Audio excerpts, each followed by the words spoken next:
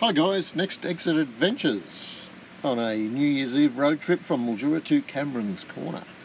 Going to break the video into a few sections, so the part one will be Mildura to Packsaddle. On the map on the screen you can see our journey to Cameron's Corner. Um, the stopping at Packsaddle, we had an overnight in Broken Hill.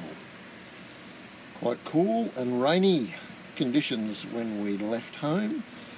Um, closer we got to Cameron's Corner, the hotter it got. Uh, this is just the Abbotsford Bridge in Mildura, just to give you an idea of the uh, the water level still.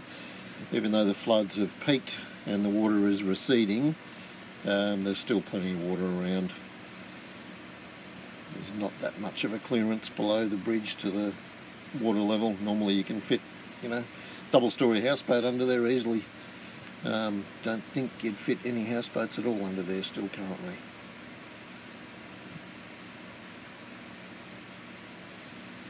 Coming into Wentworth, you can see uh, still a fair amount of water on the left hand side of the road. As we get closer to Wentworth you can see it on the right hand side of the road as well, just coming in the picture there a little bit. Still a lot of water around, so camping locally is uh, still out of the question and will be for some time. Floodwaters are uh, made their way to South Australia. Um, Renmark has just had their peak, I believe, so it's just going to make its way slowly out to Lake Alexandrina and uh, out into the saltwater. Uh, this is just coming into um, into Wentworth.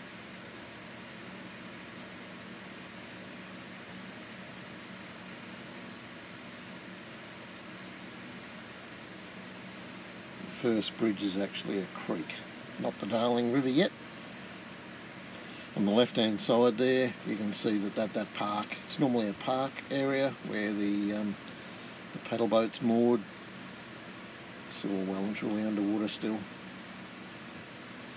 So even though the peak has come and gone, there's still a lot of water out. And Wentworth will be, uh, it'll have a high river. It's the, it just evacuated Menindee actually um, this morning by 10 o'clock all the residents were told to leave.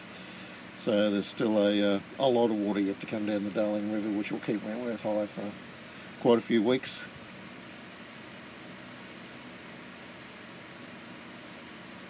Going through the township of Wentworth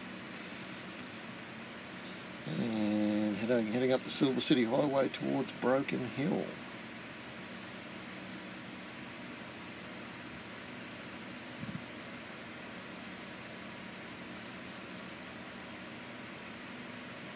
Just on the outskirts of Wentworth on the Broken Hill side. Um, again, a lot of water either side of the highway. That's um, flood water from the Darling. It's not rain water laying on the side of the road, it's actually water that's come up to the road from the rivers. Very rare sight.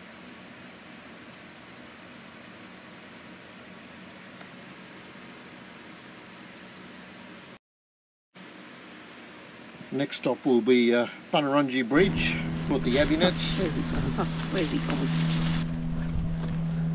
Look at that sexy body getting in the water. He's getting in the water.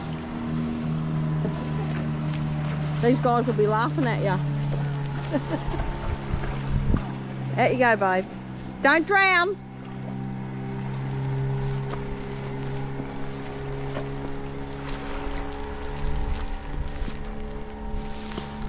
Woo!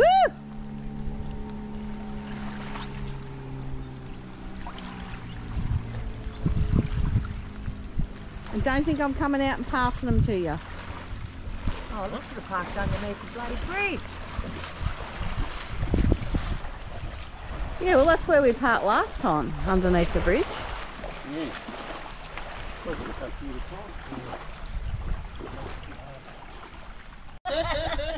Here we are at the Bunnerungee Bridge on the Great Darling Anabranch.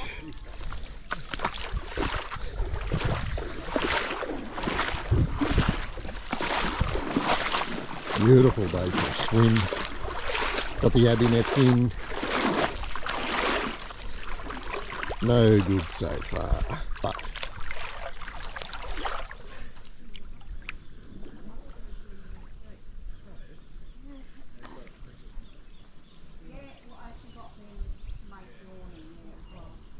I actually don't like it because you don't get the whole effect of it. We overnighted at the Broken Hill Caravan Park, the one next to the cemetery. Um, three Austracks in a row, plus another one down the park and another one in town that we know of. So there was five Austracks in town in Broken Hill. Pretty rare sight.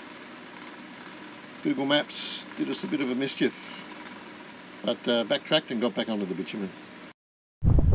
Okay, the crew now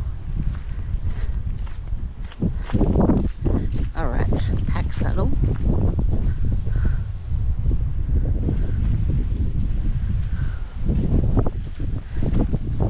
About, oh, I think about 170 kilometres to Tibooburra from here. We've just stopped to come and have a bevo.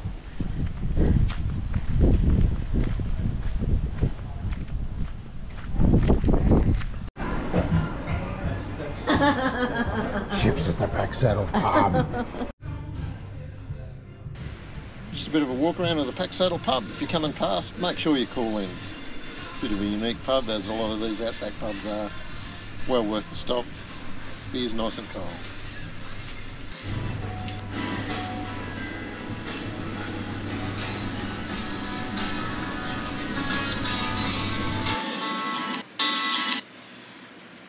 Okay guys, part two will be Packsaddle to Cameron's Corner with an overnighter at Tibooburra. We'll uh, catch you then. Enjoy, stay safe.